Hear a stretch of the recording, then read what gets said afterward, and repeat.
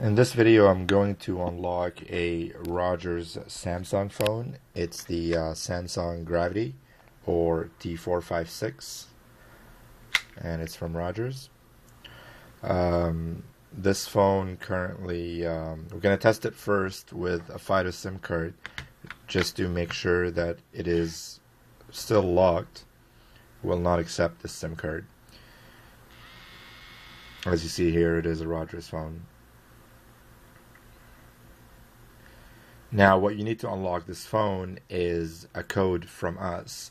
Now, as you see here, it says wrong card, which means that this phone will not work with anything but a Rogers SIM card.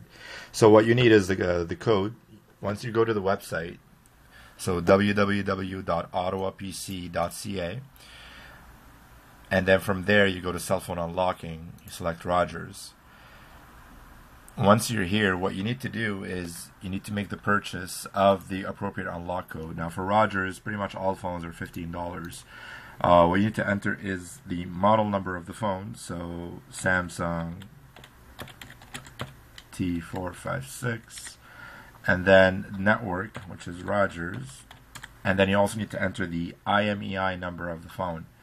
The uh, IMEI number can be found either under the battery of the phone, so it should be uh, right here under the battery. The easier way is just to, um, on the main screen of the phone, enter star pound zero six pound. As soon as you're done entering that, you're going to see the long number here show up.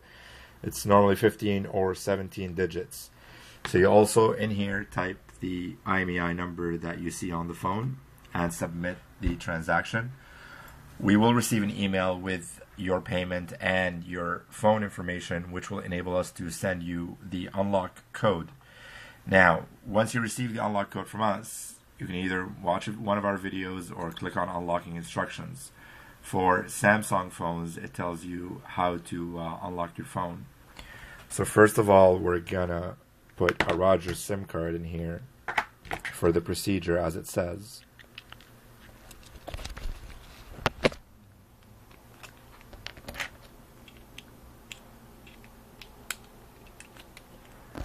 So there's a Rogers SIM card now in here.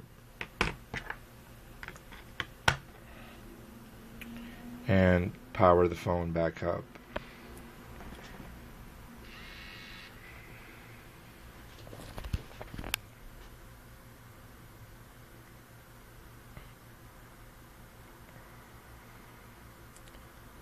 So it says Rogers right now and the phone is uh, active, of course, since it's a Rogers phone with a Rogers SIM card. So to unlock it, we're going to enter the sequence pound seven four six five six two five star six three eight star. This is the same sequence for all of the phones. Now after this, what you need to enter is the unlock code that we would have sent you for the phone. You're not going to see it on the screen because it's blocked.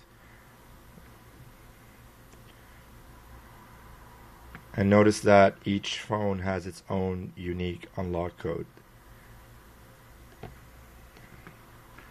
So you enter the 8 digit unlock code, and after you have the unlock code, you press pound again and it says here network lock deactivated. So that's the phone. It's already been unlocked. We're gonna what we're gonna do again is take out the Rogers SIM card and put in the FIDO one, just to uh, make sure and prove that it is working.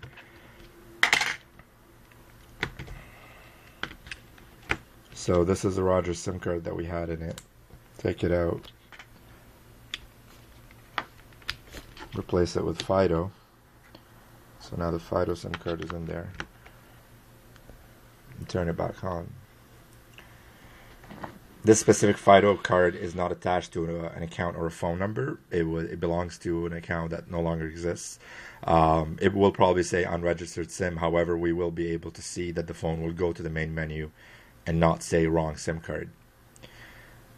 So to compare it to the beginning of the video or when we had the FIDO SIM card, it said wrong card. Right now it doesn't say that, which means the phone is unlocked. It's ready to be used um, with any network um, theoretically that has GSM. So Rogers, Fido, um, states overseas. Yep, and as we said, it's going to say unregistered SIM because the SIM card is not active with Fido. So again, to uh, recap, to unlock your code, to, to unlock your phone, you need the code. So ottawapc.ca. The unlocking instructions are on the website or by watching one of our videos. And make sure you submit the phone information and the payment and everything will be uh, sent to you uh, within a couple hours. Thank you for watching. Have a good day.